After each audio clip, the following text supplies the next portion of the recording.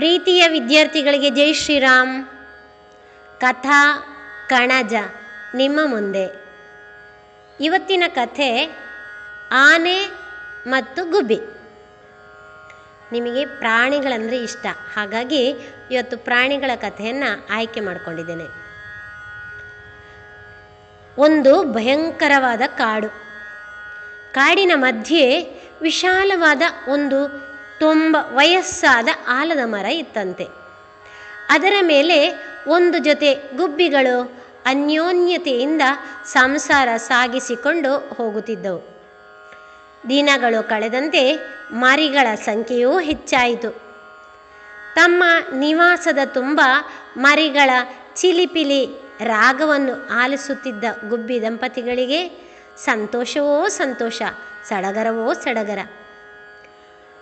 ಒಂದು ದಿನ ಅಲ್ಲಿಗೆ ಒಂದು ಮದಿಸಿದ ಆನೆ ಬಂತು. ದಣಿವಾರಿಸಿಕೊಳ್ಳಲು ಮರದ ಕೆಳಗೆ ನಿಂತಿತು. ನಿಂತಿದ್ದ ಆನೆಗೆ ಅದೇನು ಹೊಳೆಯಿತೋ ಗೊತ್ತಿಲ್ಲ. ಹುಚ್ಚಿದ್ದಂತೆ ಗುಬ್ಬಿಗಳು ಗೂಡು ಕಟ್ಟಿಕೊಂಡಿದ್ದ ಕೊಂಬೆಯನ್ನೇ ತನ್ನ ಸೊಂಡಿಲಿನಿಂದ ಜೋರಾಗಿ ಅಲುಗಾಡಿಸಿತು. ಮುರಿದು ಹಾಕಿತು. ಗೂಡಿನಲ್ಲಿದ್ದ ಮರಿಗಳು ತತ್ತಿಗಳು ಕೆಳಗೆ ಬಿದ್ದವು. ಪ್ರಾಣ ಬಿಟ್ಟವು. ಗಂಡುಗುಬ್ಬಿಯೂ ತೊಳ, ತೊಳಲಾಟದಲ್ಲಿ ಕೆಳಗೆ ಬಿದ್ದು ಸತ್ತು ಹೋಯಿತಂತೆ. ಹೆಣ್ಣು ಗುಬ್ಬಿಗೆ ಈಗ ಸಹಿಸಲಾರದಷ್ಟು ದುಃಖ ಆಯಿತು. ಒಂದೇ ಸವನೆ ಗಳ ಗಳ ಅಳತೊಡಗಿತಂತೆ. ಅಲ್ಲಿಯೇ ಸಮೀಪದಲ್ಲಿ ಮರಕುಟಿಗನ ಹಾಕಿ ಮನೆ ಮಾಡಿಕೊಂಡಿತ್ತು. ಗುಬ್ಬಿ ಅಳುತ್ತಿರುವುದನ್ನು ಕೇಳಿಸಿಕೊಂಡು ಧಾವಿಸಿ ಬಂತು. ವಿಷಯವನ್ನು ಗ್ರಹಿಸಿಕೊಂಡಿತು.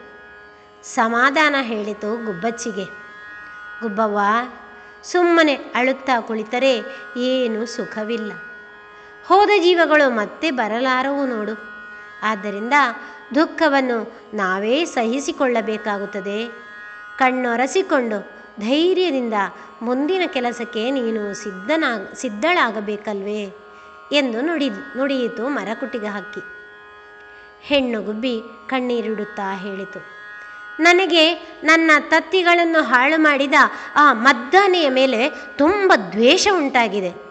ನಿಜವಾಗಿಯೂ ನೀನು ನನ್ನ ಗೆಳೆಯನಾದರೆ? ಆನೆಗೆ ಹೇಗಾದರೂ ಮಾಡಿ ಬುದ್ಧಿ ಕಲಿಸಬೇಕು. ಸಾಧ್ಯವಾದರೆ ಅದನ್ನು ಕೊಂದೇ ಬಿಡಬೇಕು. ನೀನು ಏನಾದರೂ ಉಪಾಯ ಹೇಳಿಕೊಡಬಲ್ಲೆಯಾ? ಎಂದು ಕೇಳಿತಂತೆ. ಇಷ್ಟೇ ತಾನೇ. ಕೊಂಚ ಕಾಲ ಕಾಯುತ್ತಿರು. ಆ ಆನೆಯನ್ನು ಕೊಲ್ಲುವ ಉಪಾಯವನ್ನು ನಾನು ಹುಡುಕುತ್ತೇನೆ. ನಿನ್ನ ಮನಸ್ಸಿಗೆ ನೆಮ್ಮದಿ ಕೊಡುತ್ತೇನೆ. ಬಾ, ಅಲ್ಲೊಂದು ಕಡೆ ವೀಣಾರವ ಎಂಬ ನನ್ನ ಗೆಳೆಯ ನೊಣರಾಯ ಇದ್ದಾನೆ.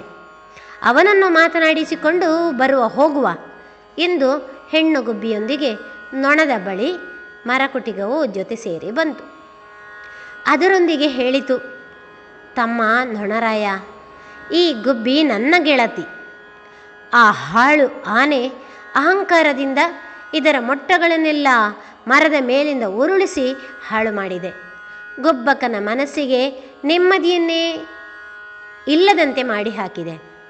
ನೀನು ಹೇಗಾದರೂ ಆ ಗರ್ವದ ಆನೆಯನ್ನು ಕೊಲ್ಲಲು ನನಗೆ ಸಹಾಯ ಮಾಡಲಾರಿಯಾ? ಎಂದು ಕೇಳಿತು ಮರಕುಟಿಗ ನೊಣರಾಯನಲ್ಲಿ. ನೊಣರಾಯ ಹೇಳಿತು ಗೆಳೆಯ, ಗುಬ್ಬಕ್ಕ, ನಿನಗೆ ಗೆಳತಿಯಾದರೆ ನನಗೂ ಗೆಳತಿಯೇ ಅಲ್ವೇ? ಆನೆಯ ಸೊಕ್ಕು ಮುರಿಯಲು ನಾನೇನು ಮಾಡಬೇಕು? ನೀನೇ ಹೇಳು. ಬೇಕಾದರೆ ಮೇಘನಾದ ಎಂಬ ಕಪ್ಪೆಯೂ ನನ್ನ ಗೆಳೆಯನಿದ್ದಾನೆ. ಅವನನ್ನು ಸೇರಿಸಿಕೊಳ್ಳುವ ಈ ಕಾರ್ಯಕ್ಕೆ. ಈಗ ನೀವೆಲ್ಲ ನಾನು ಹೇಳಿದಂತೆ ಕೇಳಿದರೆ ನೀವು ಕೈಗೊಂಡಿರುವ ಕೆಲಸ ಆದ ಹಾಗೆಯೇ ಎಂದು ಮರಕುಟಿಗ ಒಂದು ಉಪಾಯವನ್ನು ಹೇಳುತ್ತದೆ. ಮರಕುಟಿಗ ಹೇಳಿದ ಉಪಾಯವನ್ನು ಕೇಳಿದ ಪ್ರಾಣಿಗಳು ನಿಧಾನಕ್ಕೆ ಮೇಘನಾದ ಎನ್ನುವ ಕಪ್ಪೆಯ ಬಳಿ ಬಂದು, ಪುನಃ ವಿಷಯವನ್ನೆಲ್ಲ ಕಪ್ಪೆಗೂ ತಿಳಿಸಿದವು. ಗುಬ್ಬಕ್ಕ, ಮತ್ತೆ ಗೋಳೋ ಎಂದು ಒಂದೇ ಸಮನೆ ಅಳತೊಡಗಬೇಡ. ನಿನ್ನ ಸಮಸ್ಯೆ ಪರಿಹಾರವಾಗುತ್ತದೆ.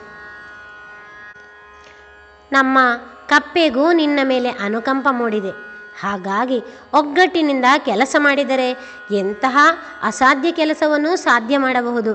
ಅಲ್ಲವೇ? ಹಾಗಾಗಿ ನೀನು ಬೇಸರಿಸದೆ ನಮ್ಮೊಡನೆ ನೀನೂ ಜೊತೆ ಸೇರಿಕೊ ಎಂದು ಕಪ್ಪೆ ಹೇಳಿತು.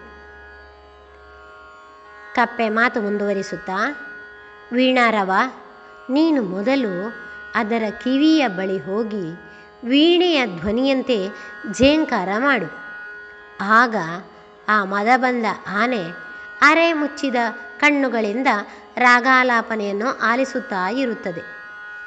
ಆಗ ನಮ್ಮ ಗೆಳೆಯ ಮರಕುಟಿಗ ಹೋಗಿ ತನ್ನ ಚೂಪನೆಯ ಕೊಕ್ಕಿನಿಂದ ಅದರ ಕಣ್ಣುಗಳನ್ನು ಕೊಕ್ಕಿ ಬಿಡಲಿ. ಕುರುಡು ಆನೆ ಬಾಯಾರಿಕೆಯಿಂದ ಬಳಲಿ ನಡೆಯಲು ದಾರಿ ಕಾಣದೆ ತಡವರಿಸುತ್ತದೆ. ಆಗ ನಾನು ನನ್ನ ಪರಿವಾರದವರೊಂದಿಗೆ ಕೆಸರು ತುಂಬಿದ ಹೊಂಡದಲ್ಲಿ ವಾಟರ್ ವಾಟರ್ ಎಂದು ಸದ್ದು ಮಾಡುತ್ತೇನೆ. ನಾವಿರುವ ಕಡೆ ನೀರೂ ಇರುತ್ತದೆ ಎಂದು ಬಗೆದು ಆನೆ ಅತ್ತ ಕಡೆ ಕುರುಡು ಕಣ್ಣಿಟ್ಟುಕೊಂಡು ಬರುತ್ತದೆ. ಕೆಸರಿನ ಹೊಂಡದಲ್ಲಿ ಬಿದ್ದು ಆ ಆನೆ ಸತ್ತೇ ಹೋಗುತ್ತದೆ. ಹೇಗೆ? ಎಲ್ಲರ ಉಪಾಯ? ನಿನಗೆ ಇಷ್ಟವಾಯಿತೆ ಗುಬ್ಬಕ್ಕ? ಎಂದು ಕೇಳಿತು ಕಪ್ಪೆರಾಯ. ಓಹೋ, ಖಂಡಿತ ಖಂಡಿತ. ನೋಡೋಣ. ಹಾಗೆ ಉಪಾಯವನ್ನು ಕಾರ್ಯಕ್ಕೆ ತರುತ್ತವೆ ಆ ಪ್ರಾಣಿಗಳು. ಕಪ್ಪೆಯ ಮಾತಿನಂತೆ, ನೊಣ ವೀಣೆಯ ನಾದದ ರೀತಿಯಲ್ಲಿಯೇ ಆನೆಯ ಬಳಿ ಧ್ವನಿ ಮಾಡತೊಡಗಿತು. ಇಂಪಾದ ಗುಯಿಂಗುಟ್ಟುವಿಕೆಗೆ ಮಾರು ಹೋದ ಆನೆ ಅರೆನಿದ್ದೆಯಲ್ಲಿ ತೂಕಡಿಸತೊಡಗಿತು. ಮರಕುಟಿಕ ನಿಧಾನಕ್ಕೆ ಅಲ್ಲಿಗೆ ಹೆಜ್ಜೆ ಹಾಕಿತು. ಇನ್ನೇನು? ಕಣ್ಣು ಕುಕ್ಕಲು ಪ್ರಾರಂಭ ಮಾಡೋಣ ಎಂದಾಗ ಆನೆ ನಿಧಾನಕ್ಕೆ ತಲೆಯಲ್ಲಾಡಿಸಿತು. ಮರಕುಟಿಕನಿಗೆ ಆಶ್ಚರ್ಯವಾಯಿತು. ಆನೆಗೆ ಬಾಯಾರಿಕೆ ಆದಂತೆ ನಟಿಸಿ ವಟರ್ ವಟರ್ ಎಂದು ಕೂಗಿದ ಸ್ಥಳಕ್ಕೆ ಆನೆ ಮೆಲ್ಲ ಮೆಲ್ಲನೆ ಹೆಜ್ಜೆ ಇಟ್ಟಿತು. ಕೆಸರಿನಲ್ಲಿದ್ದ ನೀರನ್ನು ಸ್ವಲ್ಪ ಕುಡಿದು ದೊಡ್ಡಕ್ಕೆ ಗೀಳಿಟ್ಟಿತು. ಗುಬ್ಬಕ್ಕ ಹಾಗೂ ಉಳಿದ ಪ್ರಾಣಿಗಳನ್ನೆಲ್ಲ ಆನೆ ಕರೆದು, ನಿಮಗೆಲ್ಲರಿಗೂ ನಾನು ತಪ್ಪು ಮಾಡಿದ್ದೇನೆ. ಅದರಲ್ಲೂ ಗುಬ್ಬಕ್ಕನಿಗೆ ನನ್ನಿಂದ ತುಂಬ ತಪ್ಪಾಗಿದೆ. ಗುಬ್ಬಕ್ಕ, ನೀನು ಕ್ಷಮಿಸಬೇಕು. ನೀವು ನನ್ನನ್ನು ಕೊಲ್ಲಲು ಮಾಡಿದ ಉಪಾಯ ನನಗೆ ತಿಳಿದದ್ದು ಒಳ್ಳೆದೇ ಆಯಿತು. ಒಂದರ್ಥದಲ್ಲಿ ನನ್ನಿಂದ ತೊಂದರೆಗೆ ಒಳಗಾದ ನಿಮಗೆಲ್ಲರಿಗೂ ನಾನು ಸಹಾಯ ಮಾಡುವೆ. ನಾನು ಏನಿದ್ದರೂ ದೊಡ್ಡ ಪ್ರಾಣಿಯಲ್ಲವೇ? ಹಾಗಾಗಿ ನಿಮಗೆಲ್ಲರಿಗೂ ನನ್ನಿಂದ ಏನು ಇನ್ನು ತೊಂದರೆ ಆಗದ ಹಾಗೆ ನಾನು ಮನಸ್ಸನ್ನು ಗಟ್ಟಿ ಮಾಡಿಕೊಳ್ಳುತ್ತೇನೆ. ಆದರೆ ಹೋದ ಜೀವಗಳನ್ನು ಮರಳಿ ತರುವುದಕ್ಕೆ ನನ್ನಿಂದ ಸಾಧ್ಯ ಇಲ್ಲ. ಒಬ್ಬಕ ಮೊದಲು ನೀನು ನನ್ನನ್ನು ಕ್ಷಮಿಸಬೇಕು. ಇನ್ನು ಮುಂದೆ ನಾನು ನಿಮ್ಮ ಗೆಳೆಯನಾಗುವೆ. ಸದಾ ನಿಮ್ಮ ರಕ್ಷಣೆಗೆ ಸಹಾಯಕನಾಗಿರುವೆ. ಮರಗಳನ್ನು ಕೀಳಬೇಕಾದ ಸಂದರ್ಭ ಬಂದಾಗ ನಿಮ್ಮ ಮನೆ, ಮರಿಗಳು ಇದ್ದ ಮರಗಳಿಗೆ ತೊಂದರೆ ಮಾಡಲಾರೆ ಎಂದು ಆನೆ ನುಡಿದು ಅದರಂತೆ ನಡೆದುಕೊಂಡಿತಂತೆ. ಈಗ ಉಳಿದ ಎಲ್ಲ ಪ್ರಾಣಿಗಳಿಗೂ ಕೂಡ ಈ ಆನೆಯ ಮಾತು ಕೇಳಿ ಬಹಳ ಖುಷಿಯಾಯಿತು, ಸಂತೋಷಪಟ್ಟವು. ಅದರಂತೆ ಆನೆಯ ಗೆಳೆತನದಲ್ಲೇ ಮುಂದೆ ಈ ಪ್ರಾಣಿಗಳು ಬದುಕನ್ನು ಸಾಗಿಸಿದುವಂತೆ. ಹೇಗಿತ್ತು ಮಕ್ಕಳೇ? ಒಗ್ಗಟ್ಟಿನಲ್ಲಿ ಬಲವಿದೆ, ಪ್ರಾಣಿ ಹಿಂಸೆ ಮಹಾಪಾಪ. ತಪ್ಪನ್ನು ತಿದ್ದಿಕೊಳ್ಳುವವನೇ ಮುಂದೆ ದೊಡ್ಡ ಸಾಧಕನಾಗುವ, ಮಕ್ಕಳಿಗಾಗಿ ಮರುಗುವ ತಾಯಿ ಹೃದಯ. ಹೀಗೆ ನಾನಾತನದ ವ್ಯಕ್ತಿತ್ವದ ಚಿತ್ರಣವನ್ನು ಕೊಡುವಂಥ ಈ ಕತೆ. ನನಗೆ ಇಷ್ಟ ಆಯಿತು ಮಕ್ಕಳೇ. ನಿಮಗೂ ಇಷ್ಟ ಆಗಿರ್ಬೋದಲ್ವಾ? ಧನ್ಯವಾದ.